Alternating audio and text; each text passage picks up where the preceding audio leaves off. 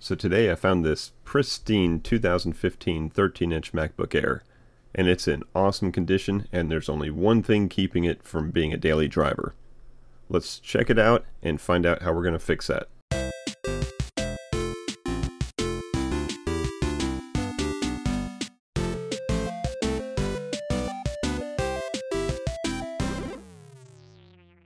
Hey everybody, it's Chris from Family Geekery and today we're going to be checking out this 2015 13-inch MacBook Air. Let's check out the specs real quick and see what we're starting with and see what we need to fix on it. So as we look at the About screen, it shows that this is a 13-inch 2015 2.2 gigahertz i7. So this is upgraded model, not just the uh, i5. So this was like the $1,200 model when it was sold brand new. And it's got the 8 gigabytes of RAM. That's the most important part.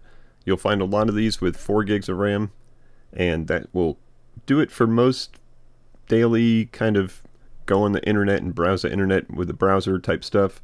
But if you want to do any real work, you really want this 8 gigs. So we got that, everything's looking good, the HD graphics 6000.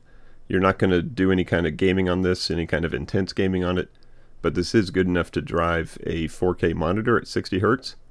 So we can still get some good work done with this. If we look at the display built in, 1440 by 900, that's a pretty good one for this 13 inch. This isn't the Retina display, but it's still a decent display for most daily work.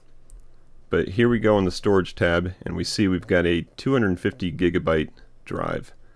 So 128 is pretty much useless. 250 is a, this will get it done, but it could be better. 500 is kind of the sweet spot on this type of portable, and uh, 1 terabyte's even better. But what we've got today, we've got a 500 gigabyte M.2 drive that we're going to put in this, and that's what the mission is for the day. Now, is this always a worthwhile upgrade for this device? Well, let's look at a couple more things to see what we got going on here.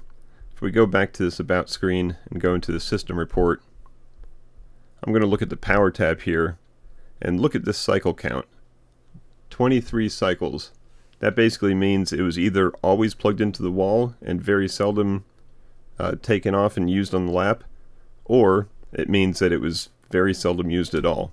By the physical condition of this particular one, I can tell you it's in brand new condition, so someone must have bought this and never used it, and I picked it up for about 200 bucks today at a pawn shop.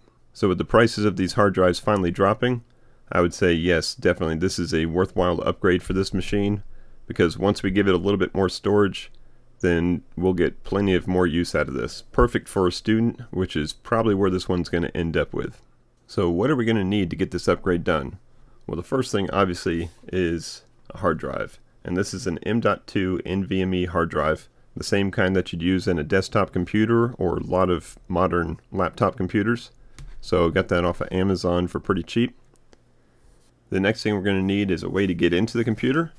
So I've got my trusty Strebito drive, which has all the screwdriver tips that you're going to need to get into this computer and get the work job done. We're going to need a P5 and a T5.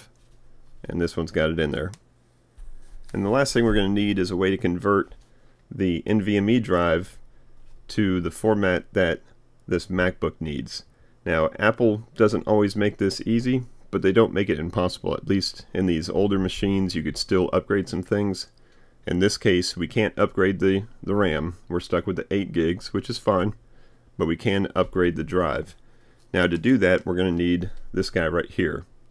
And this is a Sintech adapter. Sintech is the brand, and it's going to adapt our NVMe drive to this proprietary type of connector that Apple uses inside these MacBook Airs.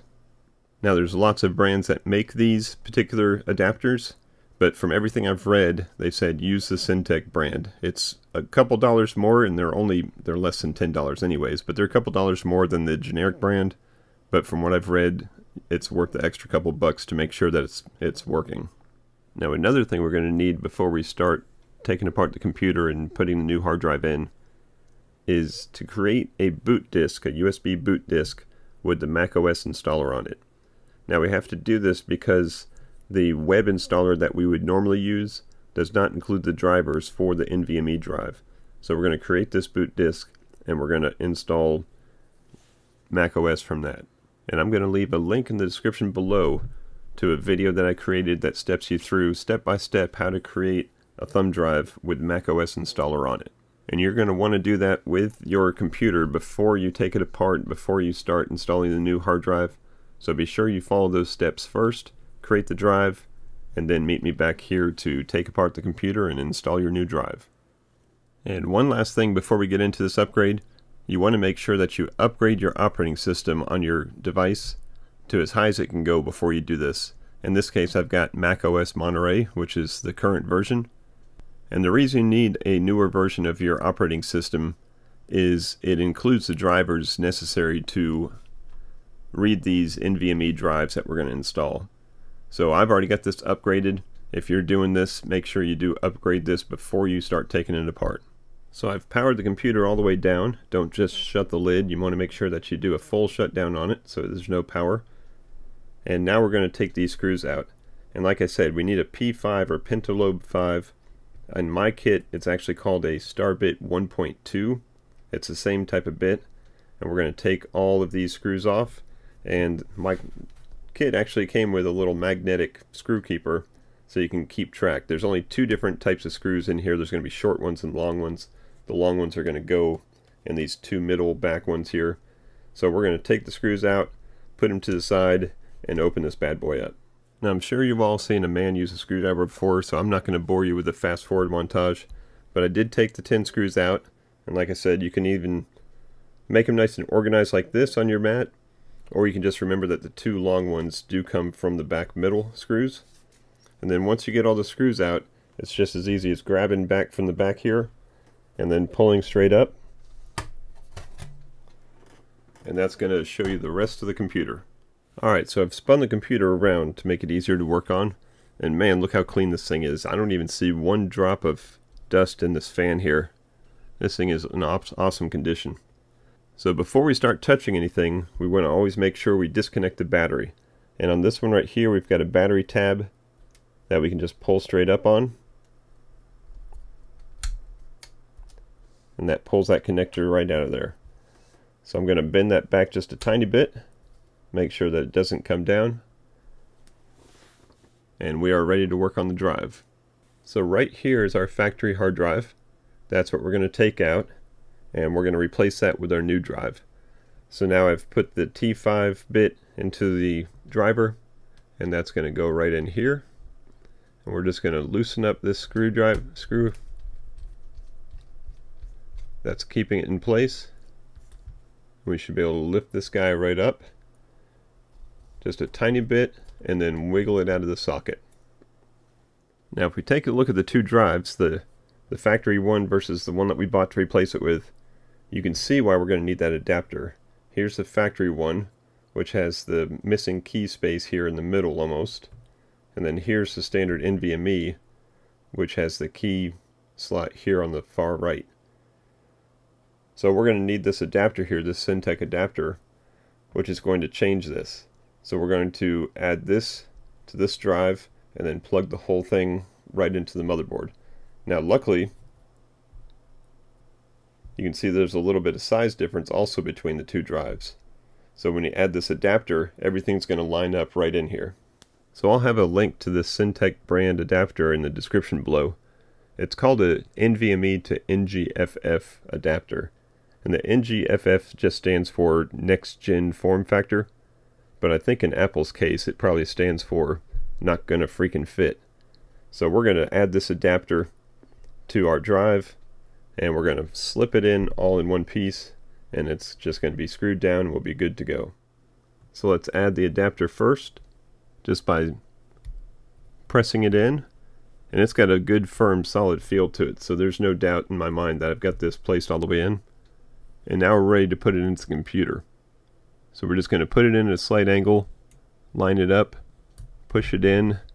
I felt a nice firm click and now you can see the screw hole there is ready to take that screw and then we'll be done with the upgrade. So I replaced the factory screw and the manufacturer of the adapter does say in their instructions to make sure that this thing is pushed all the way in. They say that most of the time any kind of failure that you find is going to be just simply because you didn't push it all the way in. So we've got that seated all the way in, screwed down. I'm going to reattach the battery and then we'll be ready to start working on the new operating system. So I've got the battery plugged back in. Let's go ahead and put the back case back on. And usually when I'm doing this type of hard drive upgrade or any type of upgrade, I usually leave all the screws out until I've gone ahead and turned it on, tested it out, make sure that everything's registering right, and then later I can go ahead and put those screws back in. So I usually just clamshell this thing together, flip it over, and now we're ready to start loading the new operating system on there. So there we go, we have successfully installed Mac OS from a thumb drive onto a brand new hard drive. So the only thing left for this computer is to flip it back over, put all the screws back in, and then it's done. Thank you so much for watching this video. Hope you learned a lot. Hope you learned what you came here to find out. If you did, go ahead and hit that like button. It sure does help our channel out a lot. And if you like this type of content, hit the subscribe button too and become one of our subscribers. Be sure to check out our Family Geekery podcast. We put out new episodes every Tuesday. We cover everything geeky from computers to comics to TV shows to video games, everything you could want. So thank you again for watching, and until next time, peace out and geek out.